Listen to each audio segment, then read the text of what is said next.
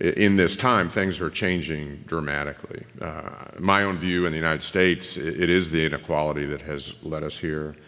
Uh, it isn't, and certainly the elite have benefited from that.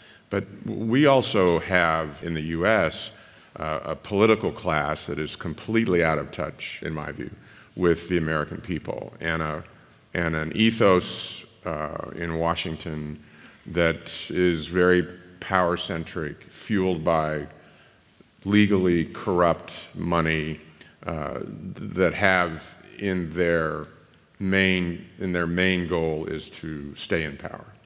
Uh, and, and I've seen it, and this isn't the last three years, I've watched this grow over the course of certainly the last 20 or so when I was in Washington.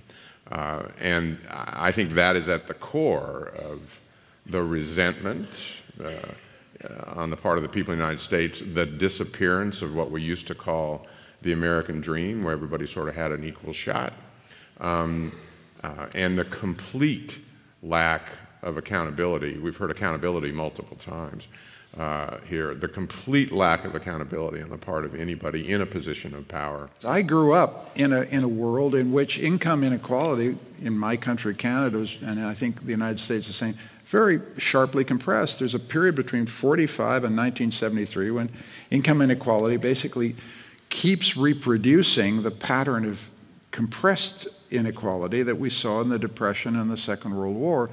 And my parents' generation came back from the Second World War, professionals in, a, in, a, in, in, in their fields deeply affected by the solidarity of the Second World War, emotionally affected by a sense that we were all in this together. My father, my mother had this passionate sense as liberals that it was one society. We were going to build it, we were going to rebuild it. I think we, and then from the 70s onwards, the numbers are remorseless. We begin to see an upward tick in inequality. We don't understand all of its drivers, some of its new technology, some of it's self dealing, some of it's liberal professions doing better out of the economy than they really should. I mean, there's some self dealing, there's some technological change, but it has fractured. I think you're quite right. It's fractured the society. A, a glaring uh, moral dilemma will at some point emerge. Um, you know, having to do with global inequality. So, uh, say you're, you're sitting in a hotel bar and you decide to order a bottle of wine for 100 euros to um, after a busy day. And in the time that it takes for the bottle of wine to arrive on your phone, you can research um, uh, through vaccinations in the third world or something of this nature how much it would cost statistically to save one human life. And say it, it turns out to be also around 100 euros. Then what do you do? Do you say, um, I'm just going to put this out of my mind because I want to drink the bottle of wine? Or, uh, which would, you know, be by any standard in the moral decision. Or do you accept um, that this, you know, sort of the state of perfect information we're going into that gives you this kind of information at your fingertips wherever you are? You accept that I'm not going to ignore this and I'm going to sort of press the one click uh, button on my, on my charity app and, not, and you know, have you know, just like a glass of water instead. Um, and if once you do accept that, though, then you're really on a slippery slope, basically, because where does it end?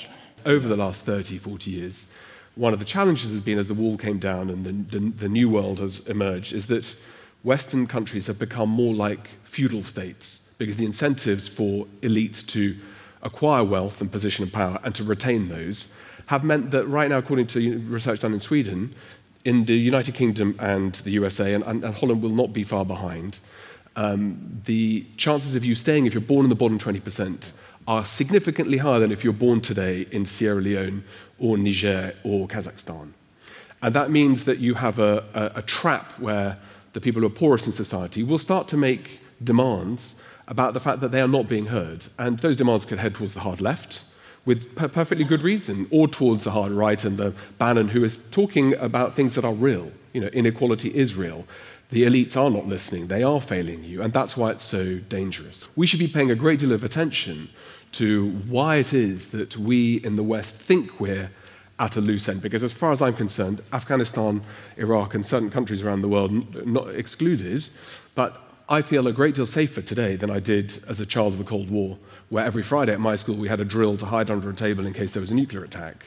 uh, where we had three-day weeks and energy shortages. We had problems about food supply. You know, we had the PLO, we had ad- aircraft hijackings all the time. You know, our, the safety of our world and the prosperity we've come to take for granted because we have no perspective, right? And if you don't pay attention to history, and in my particular view, not just European history and the history of the West, but to this much bigger picture, then, then you lose the uh, ability to look in the right direction. So the West is at a crossroads for this reason.